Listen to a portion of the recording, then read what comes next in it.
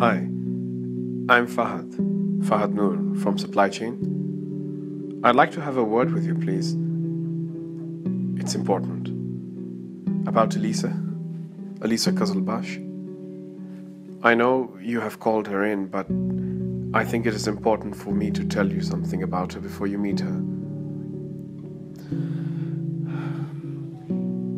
Elyssa is a dear friend of mine. I have known her for seven years both professionally and personally.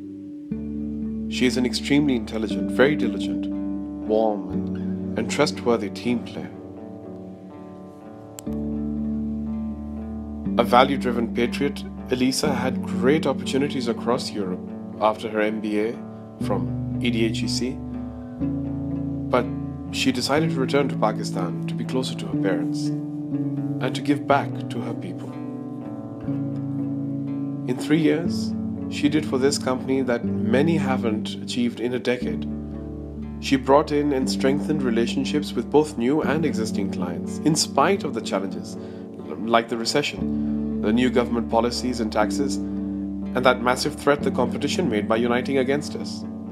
In such a threatening environment, in a rough, male dominant department, Elyssa went into the field like a true fighter and, and grossed not a penny below 500 million rupees every year. Almost double her target. This is only the official figure that reflects what she has earned from her 10 key accounts. If you were able to calculate the value she brought in by helping her peers, the figure would easily be 300 million for each 10 of us. Yes, including me. As a colleague, I'm, I'm grateful for the assistance she gave me that helped me win my promotion last year. And I can never forget her sincere joy in hearing the news, even when I thought she deserved it before me, although she did get hers nine months ago. But that's another great thing about Elyssa. She's not only very large hearted, but she's great in managing her relationships. Brilliant. Well, with the exception of her divorce, of course. Around a, a year ago today.